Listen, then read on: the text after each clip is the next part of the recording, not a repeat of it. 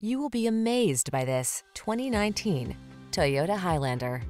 With less than 70,000 miles on the odometer, this vehicle stands out from the rest.